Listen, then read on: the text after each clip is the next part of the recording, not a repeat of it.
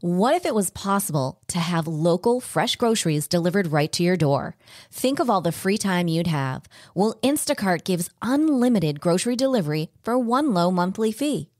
Forgot that special ingredient in your favorite dish? Instacart can deliver it to your front door in as fast as one hour. You can shop multiple stores, see deals in your area, and save time and money. I've been using Instacart for over three years. I started using them in Arizona and I'm using them here in Florida. I love the time saving convenience. They pick the freshest products and they keep my eggs safe too. To receive your first delivery free, follow the link in the show notes so that Instacart knows that we sent you and to help support the show. Instacart, never step foot in a grocery store again.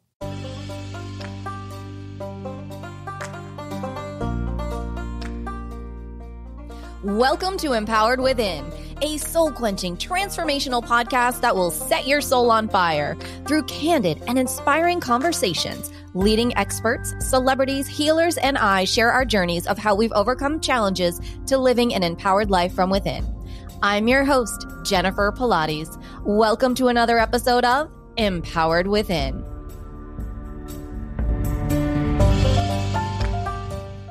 Hello, everyone. I'm excited to introduce you to our guest today.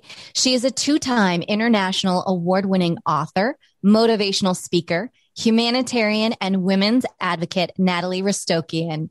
Nataly spent nearly two decades as an actress, live TV show host, and radio host in the Lebanese and Arabic society.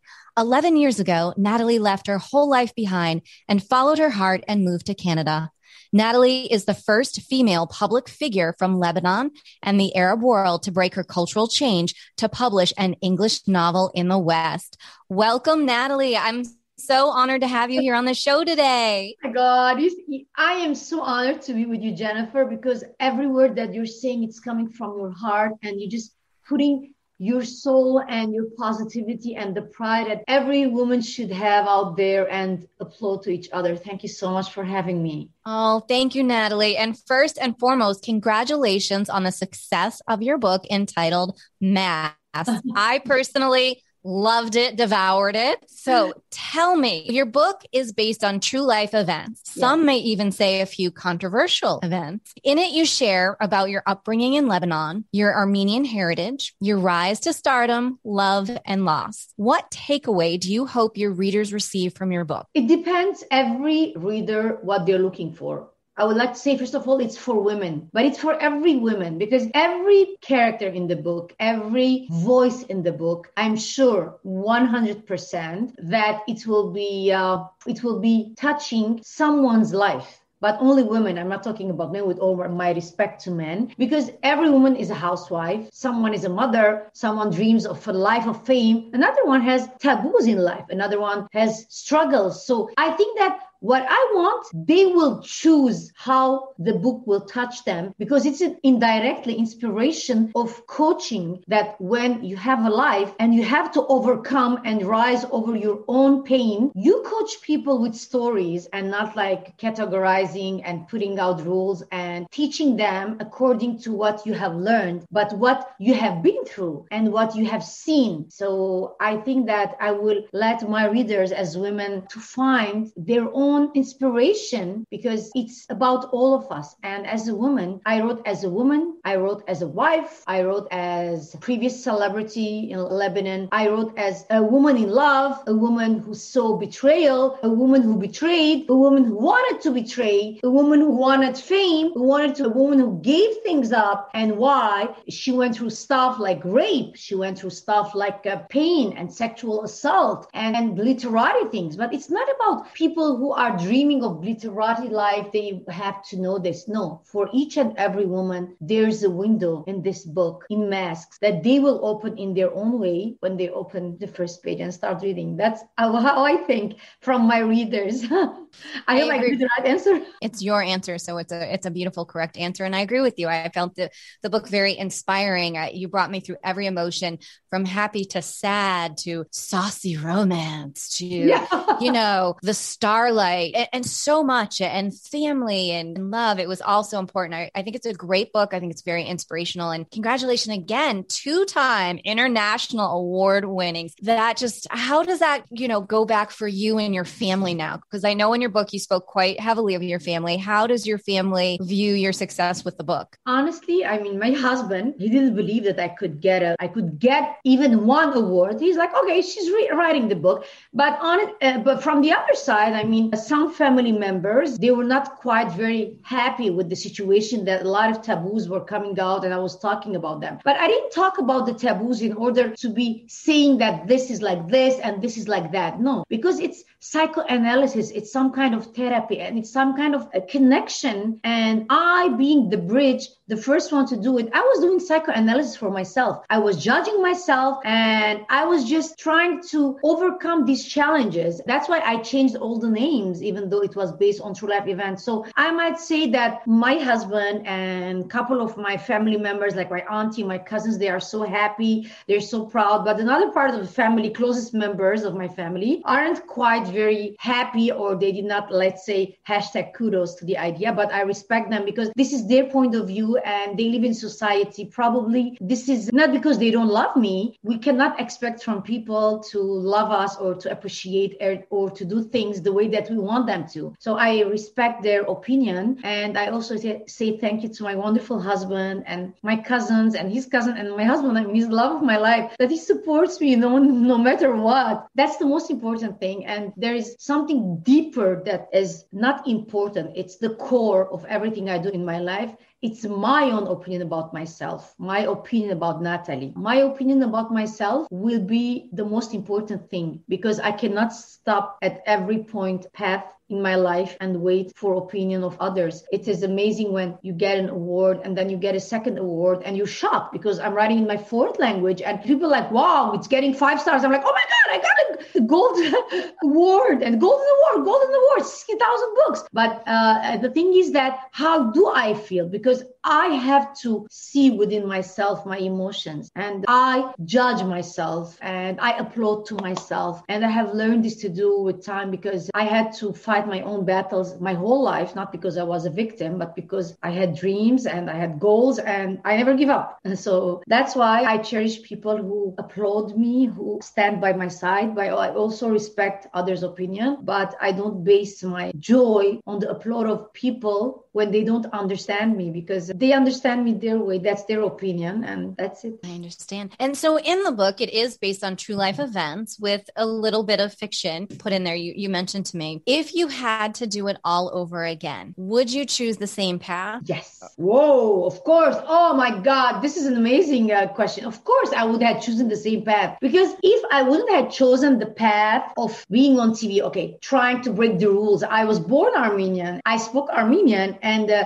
Arabic was my third language. So I had a lot of problems in pronunciation in order to be on television, to be uh, on platforms, because it was hard for me, even though you learn the language, you're born there, but the pronunciation is different. So I am very happy because I can never look back to the younger version of Nataly Restokian and I say, what if you try to do this? I had never had what ifs in my life. That's why whatever I did, I'm so happy that I did, even though it went through a lot of painful situations. I was like, oh my God, I give up. I cried a lot. And sometimes I, I break down, you know, and I cry till today, you know, it just gives me like, oh my God, that's it. That's the end of the world. And then I come back like, no, no, I'm strong. I can do this. No, I can do this. So this thing, it's like, I don't have regrets because I sit down a lot of people, Jennifer, and I, I see like, yeah, when I was 20, I was thinking like doing this, but it didn't work because of that. I gave up a lot of things in order not to have the answer to that. But I didn't even know that it was some kind of a path because I was like, okay, I have to do this. I want to do this. I go and step over things in order to get this. I step a lot on my soul, on my spirit, but I do it all over again because that made me an award winning author today. That made me inspired because I wouldn't have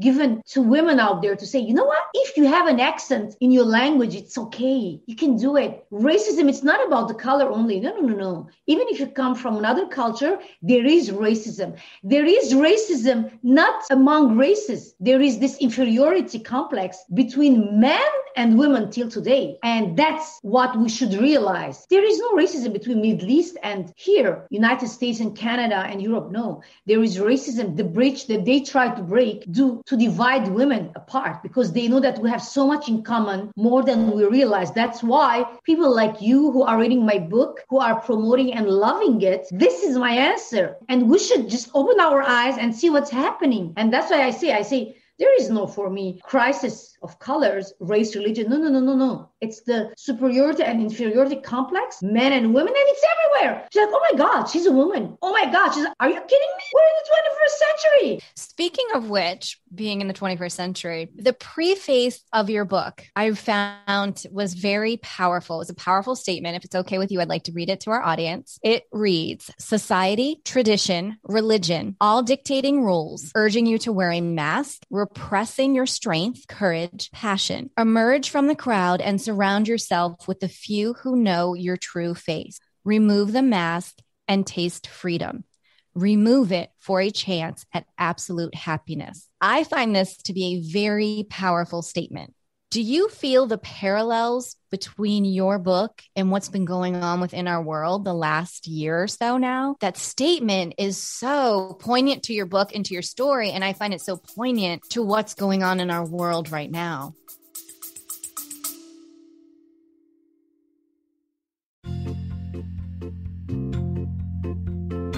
Are you ready to lose inches, increase strength, and tone your body from head to toe? Are you ready for a total body, mind, and spirit transformation? I am excited to announce that I am launching my exclusive eight week Pilates Return to Life training program. This will give you an opportunity to have a total body, mind, and spirit transformation of health and wellness to a new lifestyle. Imagine in seven days you will feel a difference, in 14 days you will see a difference, and in eight weeks you will have your new Pilates body. So, what do you say? Want to join me on the mat? Head over to jenniferpilates.com today. Space is limited. Use this special promo code EW and the word special, EW special, to receive $200 off while space is available. Head on over to jenniferpilates.com and I'll see you on the mat.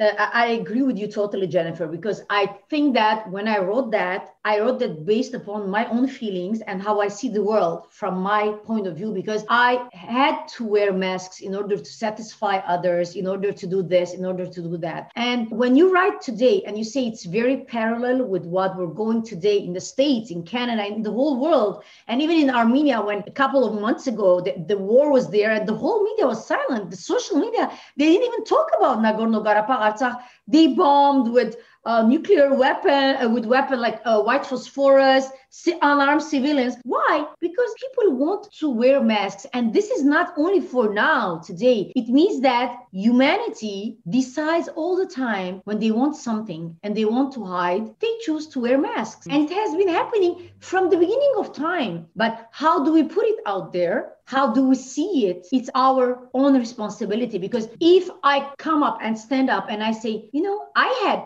done a mistake, I don't want to lie anymore, and I put everything in front of the world and I say, you know, I have done this, this, this, I'm judging myself, then no one will have anything to use against me because I will have no fear. The fear does not come because you're courageous, because, uh, uh no, excuse me, the, the courage does not come because I have no fear from anything. No, it comes when you have the ability to accept that you are wearing the mask because sometimes we are like robots, we are like brainwashed, we don't even know. Like they say something, we go elect this person, they do. Do this, do this. Wear mask, wear mask. There's no social media. You don't talk about this. I mean, the fear is going on for a long time, even this last year, and people are repeating things, and the social media things are happening in a, in a very scary way that we're just scared. And we are scared because I go back like to the times of witches of Salem. Like when you say something which is not right, they are to judge you. But the social media should not be like that. Social media should say, should say the truth because there is your story, my story, and the truth. But the truth is not the way to scare people. And the last year has not only been the, the first time that it resonates with my story of masks, it has been for years and years and years. I go back, I say, oh my God, I mean, I come from a family where my grandpa had survived the Armenian genocide 1915 until today, except a couple of countries, I think 19 to 29 countries maybe, except the genocide, the rest did not. And I say, why are you wearing masks? There are proofs, there are videos, there are stories. My grandpa, but they choose to wear the mask, some for power, other for oil and money, some because they are scared. But uh, I think that once you remove the mask, there is a price you pay. I paid very big prices for a lot of things, but you will feel courageous because no one can use anything against you. I agree 100%. It was very well articulated. Yeah, it's very much so. So in in speaking about all of this, we have another huge congratulations for you with your new TV show and I Poop Pen in Cyprus. So tell our audience about it and I want to hear more and all the details. I'm mm-hmm. so happy for you that you're getting back in television and I know this means this so much. Is what I'm doing now. It's like that now I'm writing my second novel of masks. It's the story of Anna, what happens again, and she goes into new adventures in her life as I go because Anna is my higher self is my higher voice is is my soldier as i'm the general you know and i say anna go attack in my book you know. So i plan is i'm doing this show uh, weekly every saturday and it's somehow bringing the voice of all armenians from around the world and showing that that it's okay there is humanity. And i'm doing this job giving back to my nation and to my country, to my people, to all Armenians around the world in Artsakh, Nagorno-Karabakh, who, the heroes that they died and they were martyred and uh, in uh, September and all around the world, just to bring personalities, Armenian, who survived the genocide and things are going on and we do not give up and we continue our lives. And uh, I introduce them to the world because when we bring hope when we bring joy, when we bring ideas through our programs to people who are like at the edge of losing their faith in humanity, I think that it might touch their souls somehow. And I hope that I am touching uh, thousands of souls because this is my obligation towards my Armenian nation who had chosen to be, I was not chosen to born Armenian, but I'm proud to be Armenian. And it, it gives me so much, uh, Jennifer, satisfaction to see that I'm able to give them something without expectation because it's like, you know, it satisfies my soul. It's like, you know, widows there and things there, but it's okay. We have to go on. We have to do something. And imagine today you're talking about it. It's like, see, this is a blessing. This is a sign from God that it's not about nation. It's not about who we are. It's about humanity and you are a living uh, proof of what it means to be kindness and deeping uh, to be deep going diving into the soul of every woman and encouraging us to be who we are. You are a living example. Oh thank you. Well i am in good company with you my dear that's Aww. for sure. It takes one to know one. Exactly exactly. So tell me is there one moment in your life that you are so proud of that you'd like to share with us? Yes it was the moment of my book launch when uh, there was this second when they said the award-winning book Nataly Restokian. I'm like, oh my god, in Canada? I mean, I left everything behind. I came here to make a family. Now I have a book. I'm an award-winning author, and they're saying my name. It was like I was like, you know, like, and, and I forgot myself, and, and I like my book is like this, and I'm like, yes, yes, yes, it's in the video.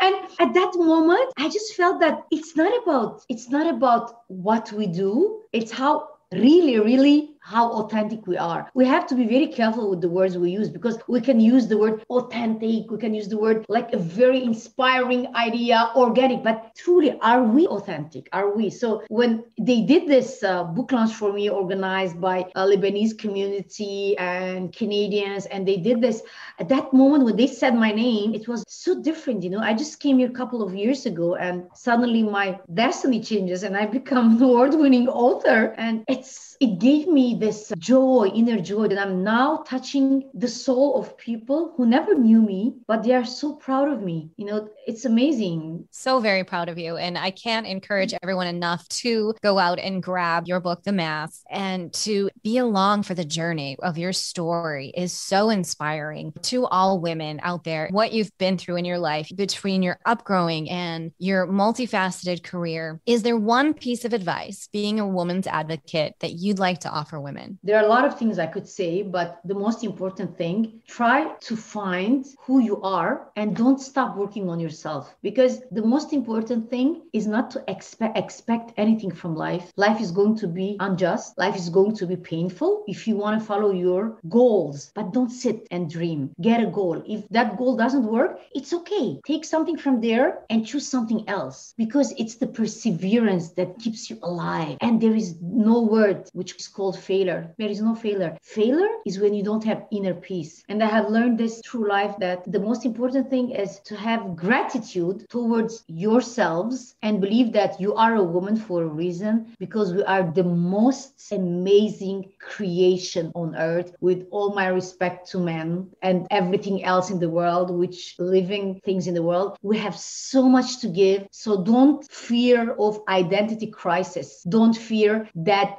goal you did not attain will destroy you. It will not. Be brave enough. Don't listen to anybody. Don't listen. People will crush you, not because they hate you, because that's how much they know. Don't stop at what they say. Go. It doesn't work. It's not given. Try something else. The motivation of always having different things doing in your life and even not doing, even sitting and having a cup of coffee, if that's what you want, it's between you and yourself. What makes you happy what makes you find your inner peace that's what matters no one else matters in the world be yourself that's beautiful nataly that is truly beautiful i couldn't have said it better just came into my mind you know because i was just like what do I say? What do I say? What do I say? I'm like, yeah, because you know, I mean, if you stop, because you're not gonna make anybody happy. So don't stop. Don't listen to anyone because a lot of times people give their opinion not because they hate us. I mean, you might see from a person close to you, like saying, uh, "It's okay." You, they just they don't mimic you. They don't laugh at you. They just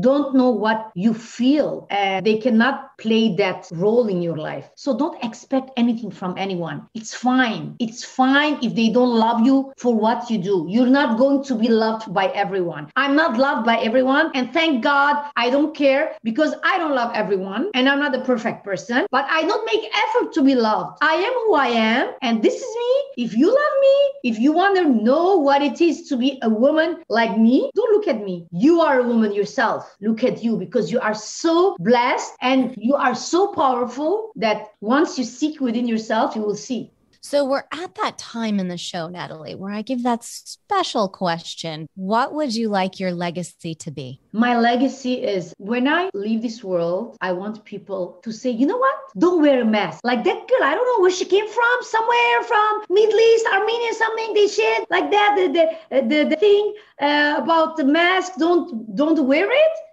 that's it. Don't wear masks. Be yourself. That's my legacy. If they can use that word, even not remembering my name, where I come from, and who I was, just knowing the concept of being embraced by true people who know you for yourself, just using that phrase, that's enough for me as a legacy because it means that I have changed life even when I'm gone from this world. That's beautiful. Love it's it. Good. It's good. It's good. Love it. It's beautiful. of course, it's good. It's your legacy. It's perfect. It's perfect for you. you know?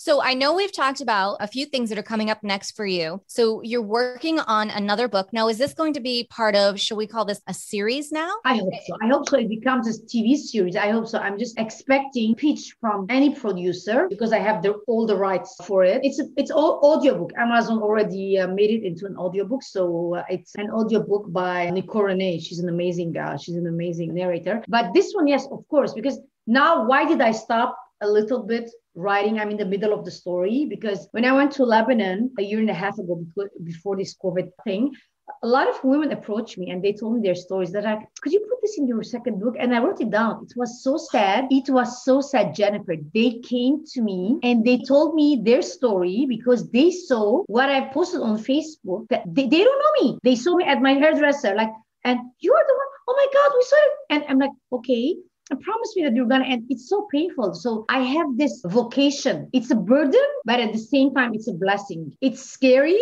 but at the same time i am blessed to be their voice. So i am continuing and it's definitely should be on the screen not because i wrote it but because for once we have to open the doors to show to the world honestly and truly how women are there living and what is wrong and what is right to bring them together. Because what i see on TV, with all my respect, and what I see on screens, it's so scary. And we as human beings are scared from things that we don't know. And this is a difference. I mean, I had somebody saying to me in an interview, okay, dear, do you drive a car? I said, yeah, I had the driver. Oh, you had a driver. So you as a woman, you don't drive. So it's it's about education. It's about, of course, it is glitterati story. Like Anna, she becomes famous, but what she goes through and stuff. But at the same time, when you know who they are over there and that part of the world world the way that it truly is, not the way they want for the rest of the world to see in order to be scared and to leave us alone and not to hold our hand as women, as you do today to me. We should break that chain and say no more. That's why I pray and I ask from the Lord that it could be adapted into a series as my second novel is also the continuation because a lot of more characters, a lot of more adventures are coming. Voices of so many women who are scared to talk. So I will talk and I will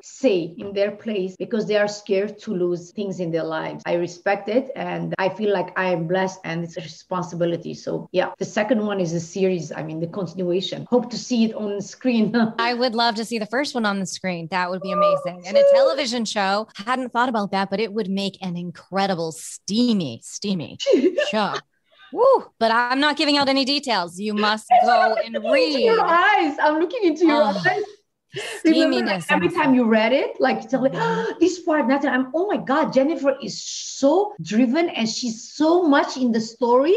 It, it was like shocking for me that I was. And, and that's what, you know, this is this is a sign. This is a sign we women, wherever we are around the world, whatever color we have, whatever religion we believe in, and whoever we pray to, and whoever we're married to, and society, whatever, we have most important thing that we are women and we are created from inside the same way. And today you are proving to your audience, to whom I say a lot of hellos to the States, and I love you guys. You're amazing. Thank you for the two awards you gave me from Washington and Los Angeles. You're amazing. Thank you. And all around the world, women. And I say that you are a living, breathing example. Once again, I have to say this that we have the same things a lot and we should come together, not by pain, by strength. Amen. That was beautiful. Well, thank you so much, Nataly, for being here today for sharing your journey, your energies. I can't thank you enough.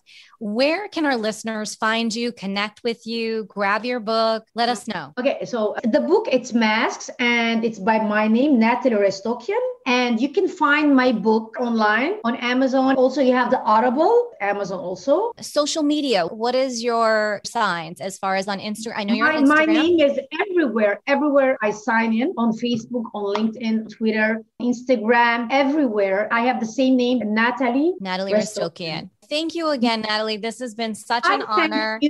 I've had so much fun connecting with you on and off air. I can't thank you enough. I want to thank you, Jennifer, for this amazing and wonderful program. Most importantly, to have an amazing person like you who is who is encouraging and inspiring the world and women to be themselves. You're an awesome person, and it was an honor for me to be with you. I know that people who will listen to you not only be inspired, but you will touch their souls and they will let them overcome a lot of things that they think they could not. You are a strong woman and a kind woman. And I'm very grateful and honored to be with you and your wonderful audience in the States and all around the world, Canada, Europe, wherever they're watching us. Many hugs to you from Canada to uh, United States, LA, right? You're in LA. Florida. I'm in Florida, Florida today. Florida, yeah, I forgot I'm again. in Florida today. That's all right. Well, many oh. hugs to you as well. And until next time.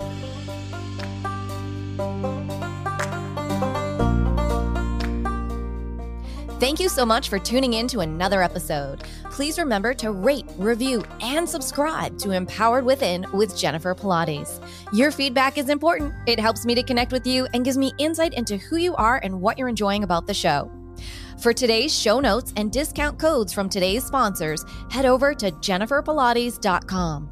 Until next time, may you live an empowered life from within.